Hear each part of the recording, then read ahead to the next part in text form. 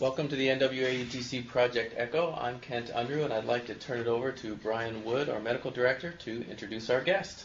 Great. It's a pleasure to have Dr. Devika Singh with us today. Uh, Devika is a provider uh, involved in the Microbicide Trials Network and also an educator with the STD and HIV Prevention Training Center. And she will talk today about diagnosis and management of vaginitis. Thanks, Brian. It's thr- I'm thrilled to be here. Uh, this is a topic of great interest for me. Uh, it also happens to be something that you commonly see for all of you, I'm presuming, see female patients, and it's particularly uh, something that you're going to commonly see in the setting of HIV as well. Uh, so uh, I have about 15 minutes to work with, which uh, makes it very difficult to be very comprehensive so primarily my focus will be on bacterial vaginosis. So we'll talk very specifically about that. I want to acknowledge my boss, my mentor, uh, my colleague, really one of the premier researchers in the field of vaginitis here based at the University of Washington has done considerable work in the area of bacterial vaginosis, uh, specifically in trying to understand a lot of the sexual dynamics, partnerships, the etiology, the pathogens associated with uh, this clinical entity. So, uh, acknowledgement to Dr. Marrazzo, and I'm using a number of her slides as well. We're going to start with a patient history. This is a very, very typical scenario. Uh, perhaps you've already had this. This is a 28 year old African American, uh, well suppressed uh, uh as far as her HIV on antiretroviral therapy, and she calls you over the phone uh, because she's noted increased vaginal discharge for about a week.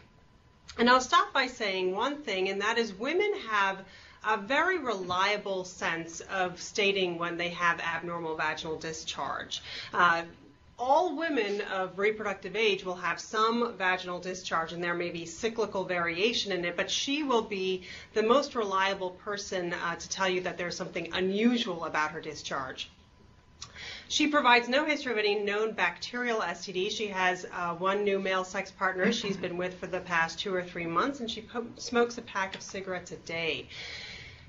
Upon further uh, history, she tells you she has uh, some bit of genital itching. She noticed uh, that uh, the discharge is kind of whitish uh, in color at times.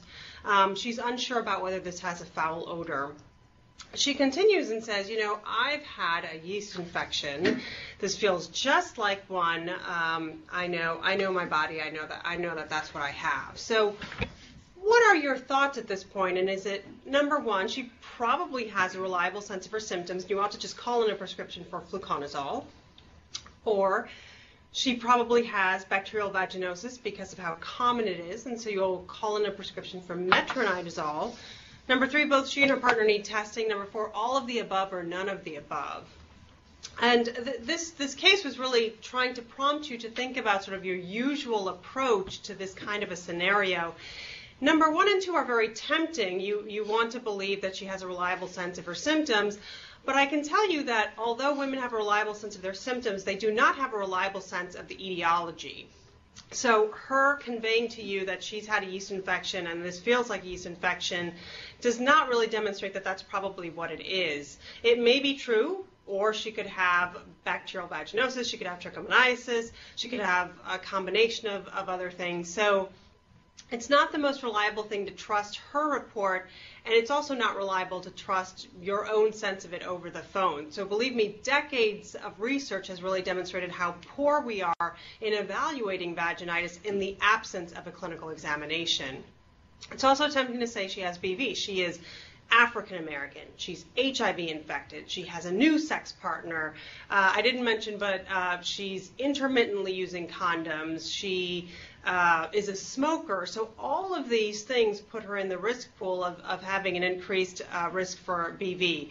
Um, but again, without a clinical evaluation, you don't know that she could also be co-infected or have a, a different uh, cause of vaginitis or uh, another bacterial STD process altogether. So really, at minimum, what you need to do is have her come in, pH testing, wet prep, uh, microscopy, uh, KOH, uh, that kind of thing. And you you ought to be able to get at least some results, uh, especially between uh, determining between vulvovaginal candidiasis and BV early in your evaluation. BV is, ex- is exceptionally common. Uh, it's the most common cause of vulvovaginal complaints, 29% in the NHANES data set done a number of years ago, and that's probably an underrepresentation. Exceedingly prevalent in areas of the world with a lot of HIV prevalence, so sub Saharan Africa, over 50% in studies done on women residing in rural Ugandan villages. As you know, it generally responds to anaerobic treatment, metronidazole, clindamycin, tinidazole, but the challenge of BV is that 15 to 20 percent of women fail initial therapy, and even with an initial treatment response, recurrence rates are upwards of 75 percent in within one year. So, what does the normal vagina look like? Well, it's healthy, blissfully acidic. Those are normal looking epithelial cells with lots of very protective lactobacilli in the surrounding. Uh, the major lactobacilli species are L. crispatus and L. jensenii. They, jensenii. They produce hydrogen peroxide, and that sort of infers the maximum vaginal benefit. Uh, Nugent scoring is done uh, generally in a research setting for evaluation of BV. I just showed you Nugent score zero. You can look at the, the uh, the, the, depiction on the right, that's ex, you know an extraordinary amount of uh, bacterial pathogens, uh, anaerobes, uh, typically Gardnerella, BV-associated bugs, BVAB1, 2, 3, etc. Um, and a lot of distortion of our usual vaginal epithelial cells. You're typically more used to diagnosing uh, BV with Amsel criteria. That's, that continues to be standard uh, clinical practice. So the presence of homogeneous discharge, an elevated pH, and the presence of greater than 20% of clue cells, as well as the positive whiff test, which is the emanation of anaerobes uh, with the addition of KOH. This is what it looks like, uh, sort of a skim milk adherent uh, discharge on va- va- vaginal epithelium. I'm going to talk a little bit about uh, BV in the context of HIV and demonstrate to you that there has been a, a lot of data um, to, to, show increased risk of HIV acquisition among those women who have BV. This is a study, this was a meta-analysis done um, uh, back in 2008 that really reviewed 23 studies, a risk, uh, looked at a population of greater than 30,000 women and the prevalence was really, you know, 70% in a, in a number of different populations that were studied. Uh, but overall, 60% increased risk of HIV acquisition among women uh, with uh, BV. Craig Cohen and colleagues here at the University of Washington did another analysis looking at the Partners in Prevention data set. This looked at over 2,200 HIV positive women. Um, who had BV and looked at the transmission of those women to their uninfected male partners and really ultimately found sort of independent association with increased risk of HIV transmission, threefold increased risk. So the male uninfected partners partnered with HIV positive women uh, with BV had threefold uh, increased risk of acquiring HIV. We'll talk a little bit about recurrent BV with this case. So this is a, a very uh, similar sounding uh, uh, profile, 28-year-old woman with a single male sex partner. She's now on her third episode of symptomatic BV in the past six months. She's desperate. And which recommendation is supported by published evidence? Is it suppressive metrogel biweekly for six months, nightly boric acid for six months, intravaginal yogurt to replenish the vaginal lactobacilli. What about treating her male sex partner with a course of oral metronidazole or finding a new health healthcare provider? Uh, and, and the answer is Jack Sobel out of Michigan State University has done a considerable amount of uh, uh, research on vaginitis, really found a lot of support for Metrogel biweekly in a randomized controlled trial for suppression uh, of BV. Uh, so really 26% in the metro arm versus 59% in the placebo arm. What you can see, however, is that there's an observation phase of three months when they're off of therapy, and although the numbers still demonstrate sig- uh, statistical significance, there certainly is increased recurrence in, in the arm of individuals that were on the metro gel. If you look at the numbers six months, nine months later, you kind of lose the benefit uh, that you had in the twice weekly gel. Um, and, and so that, that benefit essentially goes away the more remote you are with the regimen. This is a recent randomized control trial done by uh, uh, Catriona Bradshaw folks out of Australia, randomizing uh, 450 women with BV with standard week-long therapy of oral metronidazole and the addition of vaginal clindamycin 2% cream versus lactobacillus vaginal probiotic versus placebo cream. And the ultimate end result was very discouraging. BV recurrence was overall 28% with no difference between the groups. So the addition of the vaginal clindamycin cream, or for that matter, the probiotic, really didn't make a difference. They went ahead and did an additional evaluation with the same with the same group of individuals. Uh, this was published very recently, actually last month, uh, adjusting for age and sexual frequency, sexual practices.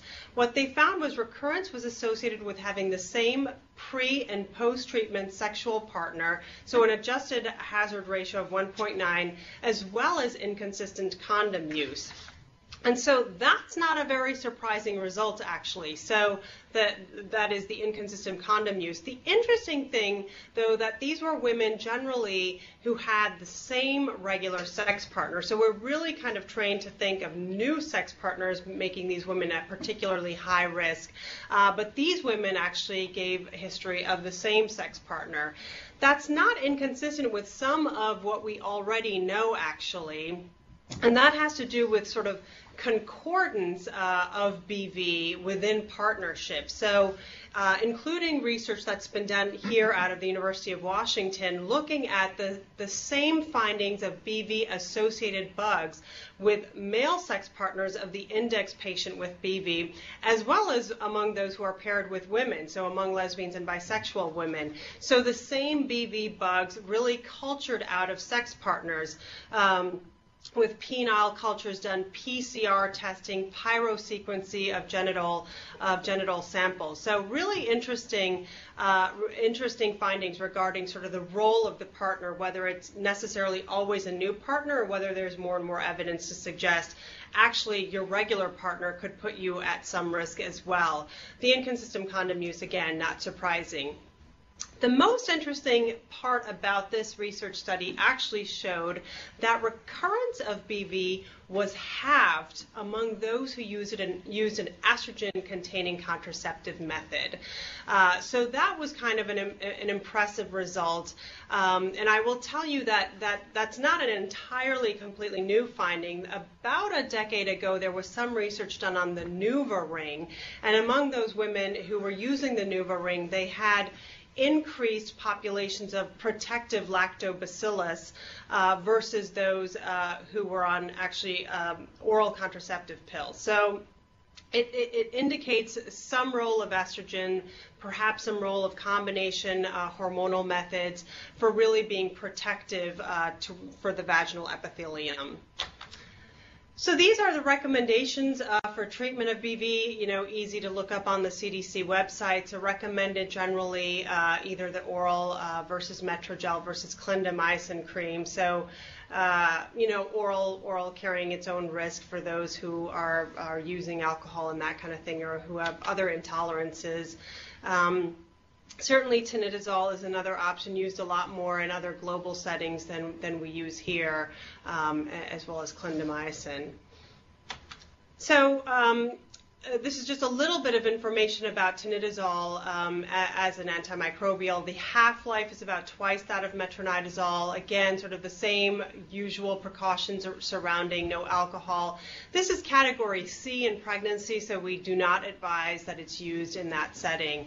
Um, pretty sort of um, you know efficacy is about one gram daily for five days, 60 for 64 percent for tinidazole, the two grams uh, for two days, 46 percent. So um, some evidence uh, towards kind of pointing to tinidazole as possible options for recalcitrant BV. That's certainly been trialed. Uh, or certainly been tried uh, clinically, anecdotally, uh, with some success on some occasions.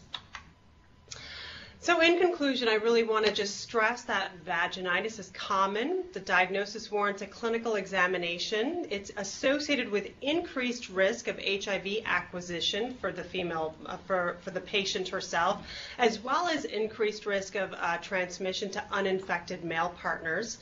BV is tragically very recurrent, very challenging to treat.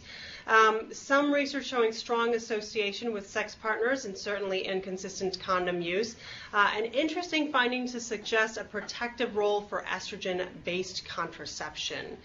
Um, so I want to end with that. I have many more slides. I believe you all will have the access to my full slide set. I, I actually go through some trichomonas um, evaluation, trichomonas testing, uh, as well as the, the reminder and the recommendation to use the longer course therapy for HIV infected in, uh, individuals, um, uh, supported by some data a couple of years ago. So I will stop talking for now and entertain any of your questions regarding uh, BV management and diagnosis.